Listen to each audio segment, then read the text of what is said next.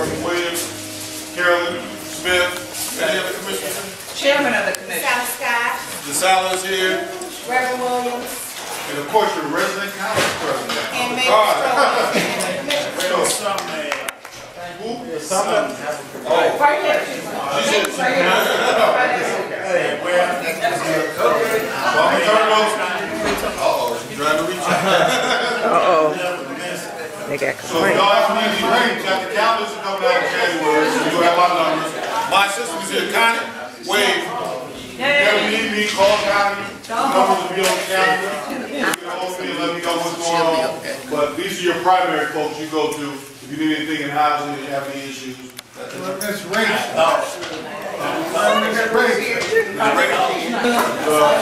Christmas brunch. This is a great season. It's snowing, so we're actually gonna have a, a very, very white Christmas. So I'm excited about that. We have so much to be thankful for here in Inkster.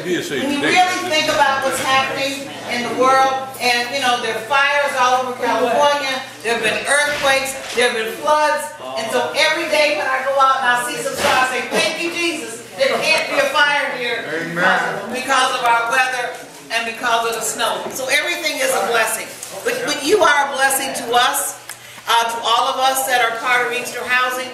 The chairman of the board and the commissioners have been introduced, but I'd like everyone who's an employee at Inkster Housing to come forward here with me, and especially Michael, who of course is your resident manager here at Twin Towers.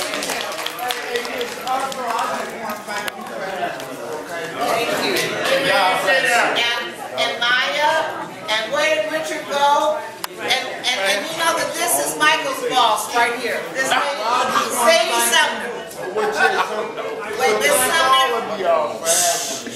Sadie Sumner is in charge of all of our residents, nearly about thirteen hundred residents, including those who are here in Twin Towers. So we really appreciate you. If there's anything I can do for you personally, please feel free to call me. My door is always open, and immediately I go to Sadie's office. So, so uh, thank you again for coming.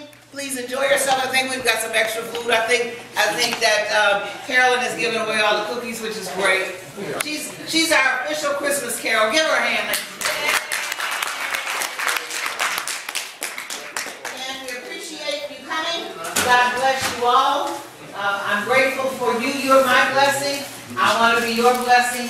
Uh, please feel free, as I said, contact me at any time. And any of us, we are here to serve. I don't know where Richard went. We're here to serve you. You are my customer. I don't get it twisted. You are it. You're the most important people at Inkster Housing. Thank you.